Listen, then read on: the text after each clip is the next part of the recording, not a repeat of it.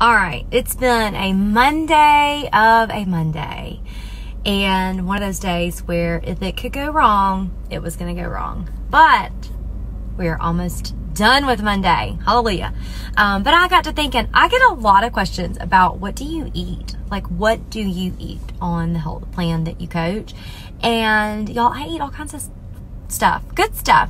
So I eat my fuelings, which are great grab, you know, grab and go. They keep me fueled. They keep my blood sugar stabilized. They're better than any um, protein bar or shake or any other health food that you're going to get on the market, hands down. But I also eat a lot of real food too. So, like real whole foods. Um, so, tonight I am going to have salmon in the air fryer and roasted cauliflower and broccoli from the oven.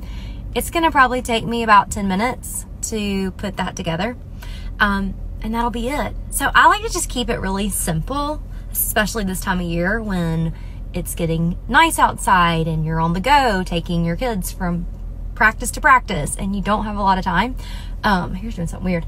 Um, so yeah, keeping it simple, simple ingredients. That's how I do it. It's not hard.